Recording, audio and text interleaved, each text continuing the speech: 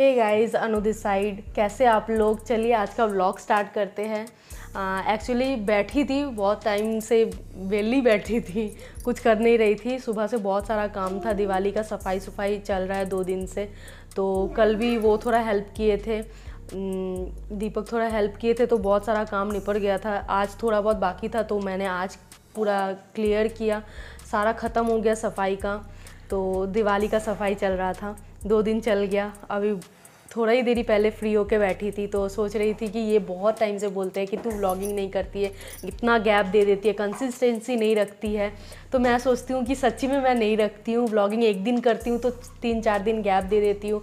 तो ऐसे चैनल थोड़ी चलता है कंसिस्टेंसी एक ज़रूरी है।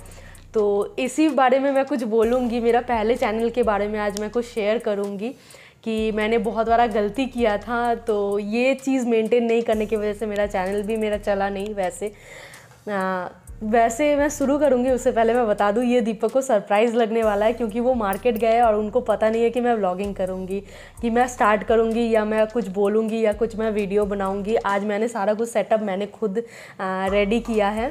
तो मुझे पता नहीं कैसे होगा वो जब एडिट करेंगे वो ही खुद बताएँगे कि कुछ गलती या कुछ नुक्स कुछ भी बताएँगे वो लेकिन मैं सोची कि थोड़ा बहुत बोल लेती हूँ क्योंकि आ, ये बहुत प्रेशर करते हैं कि तू कुछ कर तू कुछ कर कर मतलब वीडियो बना ले तू अपना कुछ तो ध्यान रख ले। तो यही मैं सोचती हूँ कि सच्ची में करना बहुत ज़रूरी है लेकिन टाइम बहुत कम मिलता है। बच्चे को संभालना बहुत औखा हो जाता है एक साथ सब कुछ एक साथ ही हैंडल करना पड़ता है घर का। तो इसीलिए, लेकिन आज सोची कि थोड़ा इनको सरप्राइज़ कर देती ये आके पूछेंगे तो बता दूँगी कि हाँ मैं वीडियो बनाई हूँ तुम एडिट करके डाल दो। तो चलिए, आज का मैं एक ही चीज़ पे मैं ज़्यादा बात करूँगी कि मैं वीडियो इसीलिए आज बना रही हूँ कि यूट्यूब पे फोकस करना मीन्स फुल्ली फोकस करना पड़ता है। एक्चुअली दीपक एक बहुत बड़ा एग्ज़ाम्पल है मेरे लिए। वो और मैं एक साथ ही वीडियो बनाना स्टार्ट की थी। वो भी मेरे को बोले थे कि तू भी एक चैनल स्टार्ट कर, मैं भी एक चैनल स्टार्ट करता हूँ। उनको भी बहुत नॉलेज था जिस हिसाब से वो अपना चैनल स्टार्ट किए। तो मेरे को जिस रिगार्डिंग नॉलेज था तो मैं वो मेरा चैनल स्टार्ट कर दिया।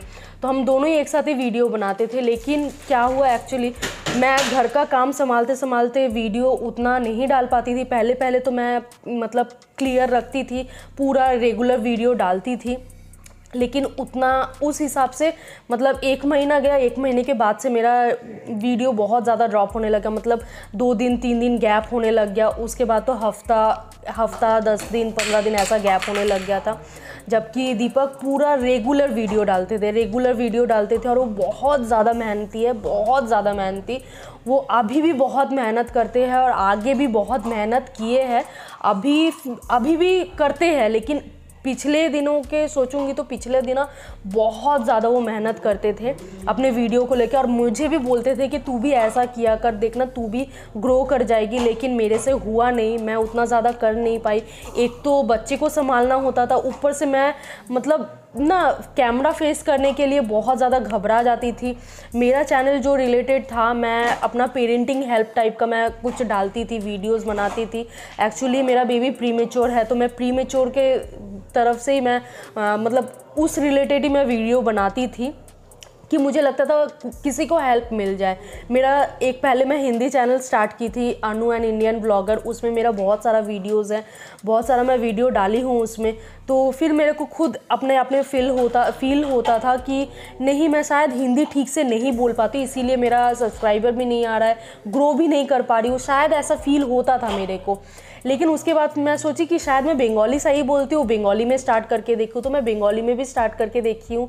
लेकिन बंगाली वाला भी उस हिसाब से गया नहीं, जिस, जितना हिंदी वाला गया है, उससे तो अच्छा ही गया था बंगाली वाला। शायद लैंग्वेज प्रॉब्लम था इसीलिए उससे तो अच्छा ही गया था बंगाली वाला, लेकिन मैं कंसिस्टेंसी वीडियो नहीं रख पाई थी। तो ये, यही मैं खुद में फील करती हूँ। शायद मैं कंसिस्टेंसी रख देती रेगुलर वीडियो अपलोड करती, शायद किसी को हेल्प भी मिल जाता और मैं भी शायद ग्रो कर जाती। लेकिन कई बार ये भी सोचती हूँ कि शायद टाइम बहुत ज़्यादा दे देती तो बेबी को संभालना भी बहुत औखा था। वो भी काफ़ी छोटा था। मतलब आज से एक साल पहले का ही बात बोल रही हूँ। हम लोग मतलब एक साल से ही बहुत ज़्यादा, दीपक का चैनल तो एक साल से ही है, एक साल से वो बहुत ज़्यादा मेहनत किए हैं। तो मेरा भी वैसा ही टाइम था। लेकिन मैं ग्रो नहीं कर पाई। इसीलिए मैं मेन आज यही चीज़ पे बात करूँगी। अगर आप कोई चीज़ के ऊपर फोकस करोगे, कोई चीज़ को सोचोगे कि मुझे ये चीज़ करना है, मेहनत करना है तो ज़रूर वो हो जाता है, पूरा हो जाता है, लेकिन मेहनत ज़रूर करना पड़ता है, जो कि बहुत कोई नहीं कर पाता है, बहुत कोई मतलब रेगुलर नहीं रख पाता है, बहुत कोई सोचता है कि नहीं, आज थोड़ा गैप दे देते आज थोड़ा प्रॉब्लम है, आज थोड़ा कोई इश्यूज़ आ गया, ऐसा बहुत कोई सोचने लग जाते हैं। मैंने वैसे ही सोचा था, इसीलिए मैं अपना थिंकिंग बता रही हूँ। तो लेकिन ये वाला नहीं करना चाहिए। रेगुलर अगर करते रहोगे एक एक टाइम पे वो ग्रो हो ही जाता है। दीपक को मैं देखती हूँ। आज सच्ची में बहुत अच्छा लगता है। बहुत खु, खुश होती हूँ कि उनको बहुत कोई फ़ोन करके बोलते हैं गुरुजी प्रणाम गुरुजी ये गुरुजी वो या सर ऐसे या सर वैसे। मुझे बहुत खुशी होती है कि उनको इतना रेस्पेक्ट मिलता है इतना वो हम्बल है। और एज अ पर्सन दीपक बहुत अच्छे हैं, बहुत ज़्यादा अच्छे हैं। ये शायद आप लोग ज़्यादा बता पाओगे क्योंकि आप लोग से ज़्यादा वो मतलब अट्रैक्ट रहते हैं, ज़्यादा आप लोग से कनेक्शन बना हुआ है। वैसे मेरे से तो है ही, लेकिन टाइम आप लोगों को ज़्यादा देते हैं। तो आप लोग ज़्यादा अच्छे से बता पाओगे कि वो कैसे है, लेकिन मेरे लिए वो बहुत अच्छे हैं एंड वो एज अ पर्सन बहुत ही अच्छा है। वो आ गए हैं मार्केट से। आप सोचेंगे कि क्या बोल रहे हैं? कुछ नहीं बस वीडियो बना रही थी। अपने आप कटिंग कर ली सारा और गोभी नहीं मिला यार बढ़िया। गोभी था नहीं। अच्छा। टमाटर मिला? टमाटर ले आए। रख दिया किचन में। कर ले तो कर ले कोई बस। गुगू को देखेंगे? रुकिए गुगू को दिखाते हैं। गुग्गू बहुत गंद फैलाया है देखिए बेड पे। पूरा बेड एंड नीचे देखिए कितना गंद फैलाया है। एक्चुअली मैं वीडियो बना रही थी ना मैं सोची कि अगर शांति से वीडियो बनाऊँगी तो ही कुछ हो पाएगा। शांति के लिए उसको कुछ देना ज़रूरी था। उसको सारा कुछ दे दिए। दोनों डोलची उसका दोनों डोलची में उसको सारा खिलौना है। सारा कुछ दे दिए दे के बैठा दिए। फिर भी चुप नहीं बैठ रहा था लेकिन बहुत मुश्किल से उसको बोले कि चुप बैठ जा बेटा ये सारा ले लो ये सारा लेके खेलो। वैसे बहुत अच्छा बच्चा है बात मानता है लेकिन कई बार जिद पे अड़ जाता है। डॉक्टर का डॉक्टर का है बेटा इसका? और बहुत गंद पाता है सच्ची बोलूँ तो बहुत ज़्यादा गंद पाता है। और तो क्या हाल चाल है दोस्तों? और आज तो मज़ा आया होगा यार। बैंक निफ्टी निफ्टी दोनों में कमाल हुआ है ना? हमारा निफ्टी बहुत बढ़िया रहा। आप लोगों ने सबने ट्रेड किया होगा शेयर शोर किया करो ब्लॉग यार। आज मैडम अपने आप शुरू किए हैं। तो अभी देखूँगा क्या कुछ बोला है उसने। एडिट वगैरह करेंगे उसको। शेयर वगैरह किया करो ब्लॉग को हमारे। राइट और युवान को दिखाता हूँ। ये युवान के हाल देख लो भाई। ये देख लो पूरा बेड पे क्या किया हुआ है इसने। ये देख लो। देख पा रहे हो आप। बुरा हाल किया हुआ है घर का। युवान, क्या हो रहा है बेटा? युवु युवु, नमस्ते कर दो। नमस्ते कर दो बेटा। आपका डाइपर दिख रहा है। अच्छा नमस्ते कर दो, नमस्ते। युवान, नमस्ते कर दो।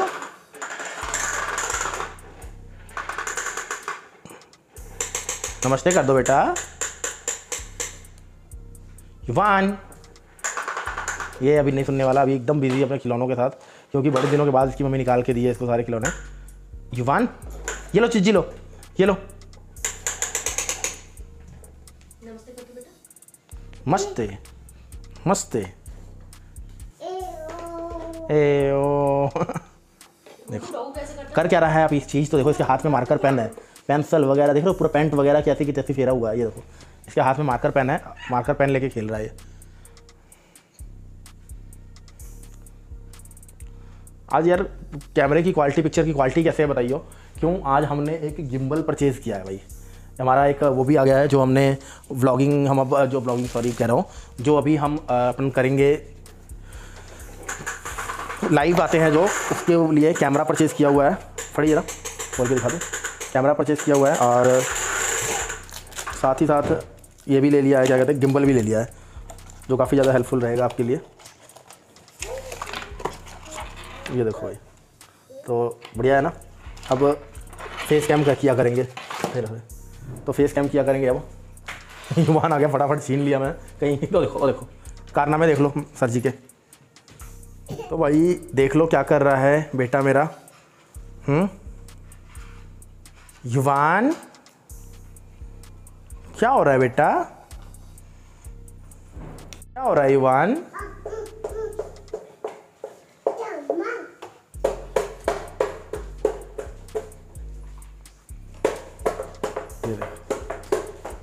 अच्छा छोड़ दो छोड़ दो।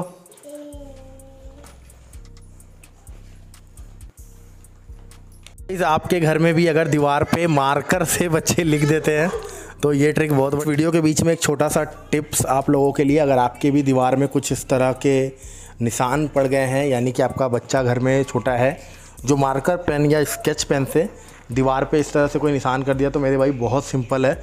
आप कोलगेट या टूथपेस्ट दीवार पे लगा दीजिए। और इसको हल्का गीले कपड़े से क्लीन करने की कोशिश कीजिए। पूरा का पूरा ये उतर जाएगा। अभी मैं आपको दिखा रहा हूँ। ये मैंने टूथपेस्ट लगा दिया है और इसको हल्का समय इसमें रब करूँगा कपड़े से। तो अभी मैं इसको क्लीन करने लग गया हूँ। ये देखिए। पूरा का पूरा आप देख पा रहे हो। एक बूंद भी निशान यहाँ पे नहीं रह के जाने वाला है।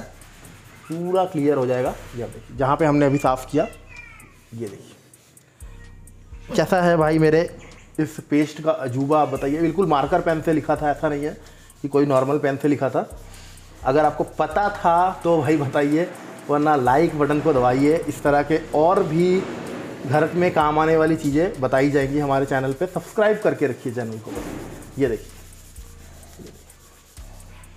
पूरा मतलब जैसा पहले था, वैसा ही हो गया। ये सूख कर बिल्कुल ऐसे ही हो जाएगा। और ये टोटल काम का जो क्रेडिट जाता है, वो मुझे नहीं, बल्कि मैडम जी को जाता है जो यहाँ पे आटा गूंदने में लगी हुई हैं। आप देख पा रहे हैं, यहाँ पे आटा गूंदने में लगी हुई हैं। पूरा क्रेडिट इनको जाता है भाई। बेड बिल्कुल बिखरा हुआ है क्योंकि महाराज जी का देह है ये। आप देख पा रहे हो। ये देखो। युवान युवान कम से कम नमस्ते कर दो एक बार। नमस्ते कर दो गुगू। बिल्कुल भी नहीं वो अभी टीवी में फ़ोन में बिज़ी है अभी उसको फ़ोन देखना है और कुछ नहीं करना है। चले कोई बात नहीं यार। मिलते हैं फिर एक नए ब्लॉग में। अपने घर में भी इस तरह से दिवाली की सफ़ाई करिए।